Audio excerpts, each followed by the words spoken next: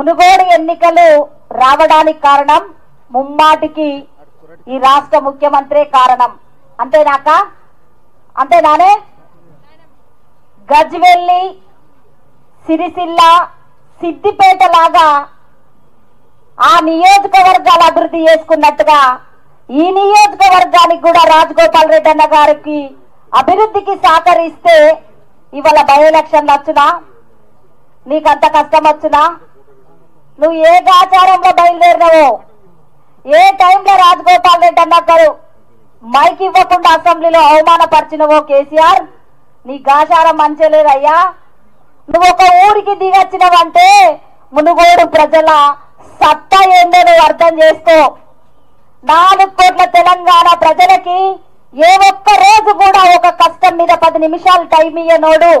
అకాల వర్షాలు వచ్చి మా కరీంనగర్ ఉమ్మడి కరీంనగర్ జిల్లాలో కాళేశ్వరం ప్రాజెక్టు కింద రైతులు భూములు కోల్పోయి పంటలు కోల్పోయి ఇండ్లు కోల్పోతే ఒక పది నిమిషాలు కూడా ఆ రైతులతోని మాట్లాడని ఈ నాయకుడు ఈ ముఖ్యమంత్రి మునుగోడు నియోజకవర్గ రాజీనామాతోని రాజ్ గోపాల్ రెడ్డి అన్న దెబ్బకో దెబ్బతోని నువ్వు ఒక ఊరికి ఒక సేవకుడిగా ఒక జీతగాడిగా వచ్చినవంటే ఇలా మునుగోడు ప్రజల దెబ్బేందో ఈ కేసీఆర్కు తెలిసే ఇవాళ దిగొచ్చిండు అనేది కేసీఆర్కు తెలిసి రావాలి.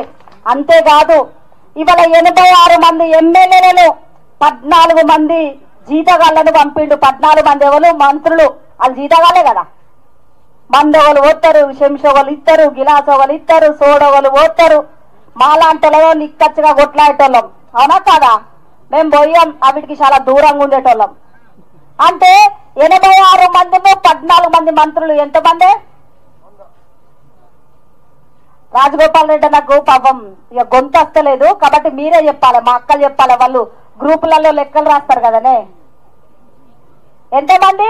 ఎనభై ఆరు మంది ఎమ్మెల్యేలు పద్నాలుగు మంది మంత్రులు. ఎంతమంది? వంద మంది గొర్రెలు వచ్చినాయి.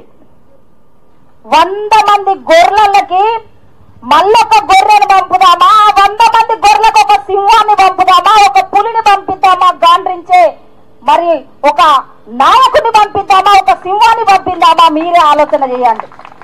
అవునా కాదా? వంద గొర్రెలకి ఈ గొర్రె పోతే కూడా నూట ఒకటి అవుతుంది. ఆ వంద గొర్రెలల్లో గావు పట్టే నాయకుడు ఒక సింహం లాంటి నాయకుడు గర్జించే నాయకుడు తప్పులు చేస్తే నాలుగు కొత్త తెలంగాణ ప్రజల కోసము వాళ్ళ కల్వకుట్ల కుటుంబాన్ని గావు పట్టడం కోసము రాజగోపాల్ రెడ్డి అన్న పోవాలా? మీరే ఆలోచన చేయండి అని ఈ గ్రామ ప్రజలకి మా అక్కలకి మా తల్లులందరూ కూడా నేను విజ్ఞప్తి చేస్తానా. ఎవరిని పంపిద్దాం?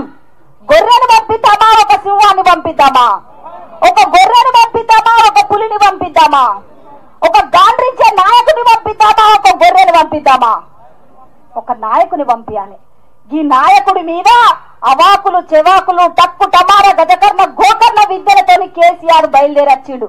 ఎడువేంద్రయ్యా నీ ఎనభై ఆరు మంది ఎమ్మెల్యేలు ఎటువైన నీ మంత్రులు మునుగోడు నియోజకవర్గ ప్రజల సమస్యల గురించి రాజగోపాల్ రెడ్డిని అసెంబ్లీలో మాట్లాడితే మైకు గుంజుకొని అవమానపరిచినావు కదా.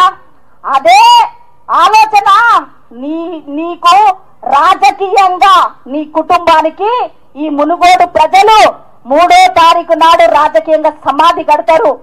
ఒక రాష్ట్ర ముఖ్యమంత్రి అంటే నూట పంతొమ్మిది నియోజకవర్గాలకు న్యాయం చేయాలి. కానీ ఒక ప్రతిపక్ష నాయకుడిగా ఉండి కొట్లాడి కొట్లాడి విసుగు చెంది నా మునుగోడు ప్రజలకు అన్యాయం చేస్తున్నా నేను న్యాయం చేయలేకపోతున్నా కనీసం రాజీనామా చేయడం వల్లన్నా ఇక్కడ డబుల్ బెడ్రూమ్లు తీసుకురావచ్చు.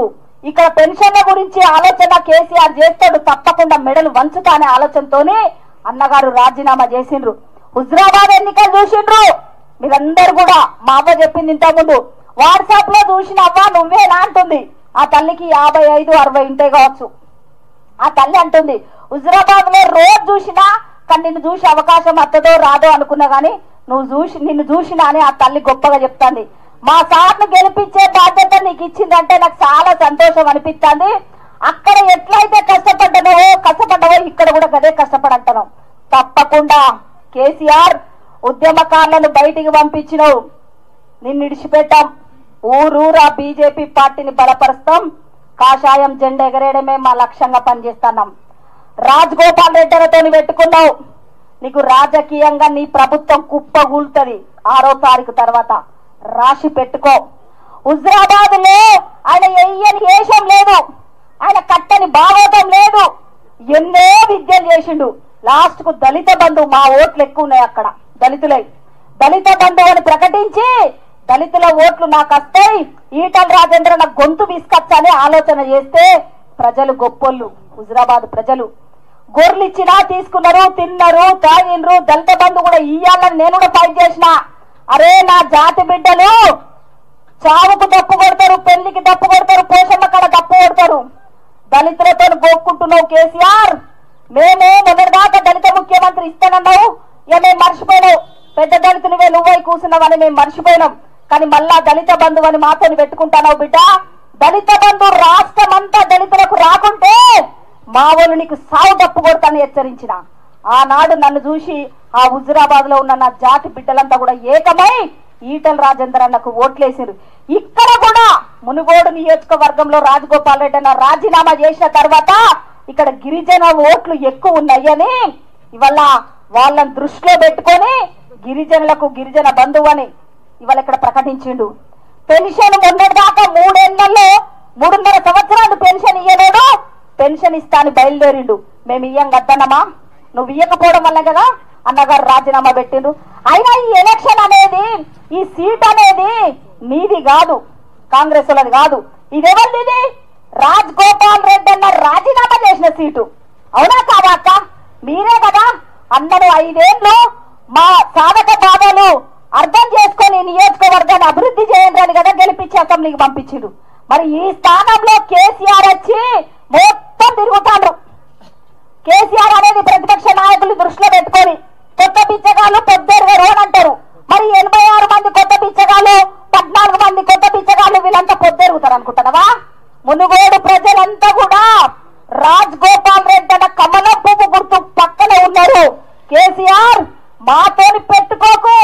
మాతోని పెట్టుకుంటే నీకు రాజకీయంగా సమాధి చేస్తామని మునుగోడు ప్రజలందరూ కూడా చెప్పకనే చెప్తాడు రా రేపు ఆరో తారీఖు నాడు ఏం అభివృద్ధి చేస్తావో? ఈ మునుగోడు నియోజకవర్గంలో అభివృద్ధి చేయకపోవడం వల్లే ప్రజలందరూ కూడా నేను వ్యతిరేకిస్తాను మేము ఇంతకుముందు ఒక చిన్న విలేజ్కి పోయినాం. అక్కడ గొల్లగూరు వాళ్ళు ఏమంటారు తెలుసా? రాజగోపాల్ రెడ్డి అన్న గుర్తు ఏం గుర్తు అవ్వాలంటే పువ్వు. నువ్వు పెన్షన్ తీసుకుంటున్నావు కదా తల్లి అనంటే పెన్షన్ తీసుకున్నా గొర్రెలు తీసుకున్నా బర్రెలు తీసుకున్నా ఆయన రాజీనామాతోనే వచ్చింది. ఆయనకే ఓటెత్తాం. గ్రామాలలో ఒక మాట మాట్లాడతారు. సద్దిన రేవు కలవాలని సద్ది అంటారా మీ దగ్గర?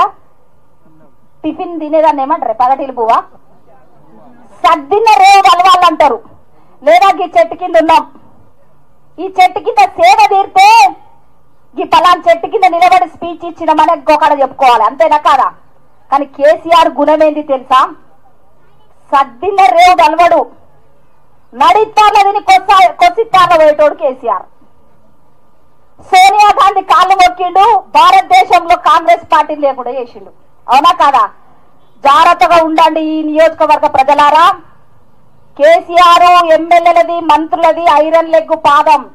వాళ్ళు మీ ఊర్లలో అడుగు పెడతాండ్రు మన ఊర్లు జాగ్రత్త కాపాడుకోవాలి. ఇంకొకటి భూములు కూడా జాగ్రత్తగా చూసుకోండి.